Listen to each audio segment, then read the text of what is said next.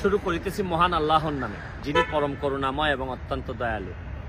প্রায় দুশো কোটি টাকা খরচ করে আর্জেন্টিনা টিম এবং মেসিকে নিয়ে আসা হবে জুন মাসে বাংলাদেশে। আর একই সময়ে চট্টগ্রামে জাহাজ অপেক্ষা করতেছে, খালাস করতে পারতেছে না, কারণ টাকা বা আমরা ডলার পেমেন্ট করতে পারতেছি না।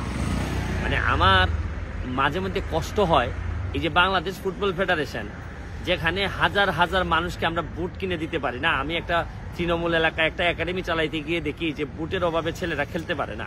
ফুটবল ফেডারেশন এই গত কয়েক বছরে কাউরে দুইটা বল দিছে আমার এলাকায়, যেখানে আমার জানা নাই। যেখানে আপনারা আশ্চর্য হবেন যে মোরক্কো দু হাজার ষোলো সালে মোরক্কোর গভর্নমেন্ট এই দেড়শো কোটি টাকা দিছিল মোরক্কোর ফেডারেশনকে। এই দেড়শো কোটি টাকা দিয়ে দেখা যাচ্ছে যে এই আজকে এই বছর আইসা এরা সেমিফাইনালিস্ট হয়ে গেছে। মানে নিজের দেশের উপর ইনভেস্ট না করে, দেখেন আমি মেসির বিরোধিতা করতেছি না। আর্জেন্টিনা আসলে আমাদের ভালো লাগবে। আমি আর্জেন্টিনার সমর্থক। মেসির আমি ডাই হার্ট ফ্যান বলতে পারেন।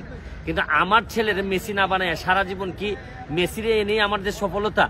আমাদের এই ফুটবল ফেডারেশনের যিনি সভাপতি, তার জীবনে একটা সফলতা নেই। গত কিছুদিন আগে একবার মেসিরে নিয়ে আসছিলেন।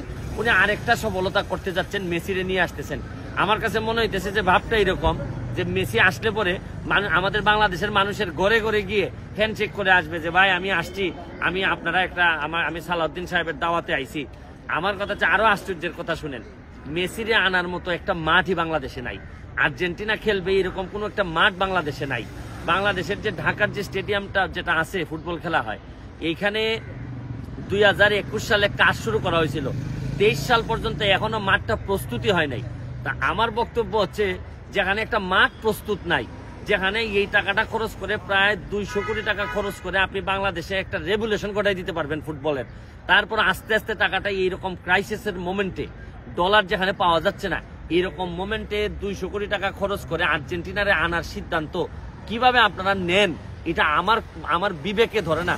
সকালবেলা ওইটা মনে হয়েছে দুই একটা কথা বলা দরকার। কারণ দেশটাতে তো আপনারা যে যেভাবে পারতেছেন, অসুস্থ মানুষ আপনারা এইভাবে পরিচালনা করতেছেন, এটা হইতে পারে না। আপনি দেখেন, এটারে বলে গরিবের এই যে ঘোড়া রোগ বলে এটারে। আবার ওই যে ঋণ করে ঘি খাওয়ার মতো অবস্থা। নিজে চলতে পারেন না, রোজার খাদ্য সামগ্রী আটকে আছে, জাহাজ জাহাজ আসতে পারতেছে না ডলারের কারণে।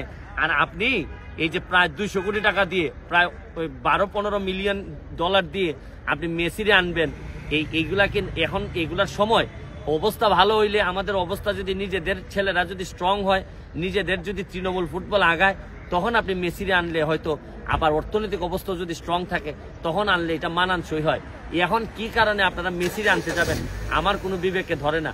তাই আমার একটা অনুরোধ যে দেশের চিন্তায় দেশের চিন্তায়, দেশের দায়িত্ব যারা পাইছেন, তারা একটু কাজ করেন ফুটবলের দায়িত্ব যারা পাইছেন, তারা কাজ করেন। এইভাবে বারোটা বাজাই দিয়েন না। কারণ হচ্ছে গিয়ে ফুটবলটারে তো একেবারে জানাজার পর্যায়ে পৌঁছাই দিছেন। আর আপনারা আর কোনটা করবেন? এখন তাহলে একটা কাজ করেন, আর্জেন্টিনার কাছে আমাদের ফুটবলটা বিক্রি করে দেন। যে ভাই, আপনারা যা আছে তা সহ বিক্রি করে দেন। আর আমার একটা অনুরোধ যে, ফুটবল বিক্রি করলেও যদি রাখতে চান, রাখেন, তবে সালাউদ্দিন সাহেবের ফুটবলটা সহ এই আর্জেন্টিনায় পাঠাই দেওয়া যায় কিনা? উনি এই বয়সে আরেকটু ফুটবল খেলে আমাদেরকে আরেকটু গর্বিত করুক। আজকের মতো বিদায় নিচ্ছি। ভালো থাকুন, সুস্থ থাকুন।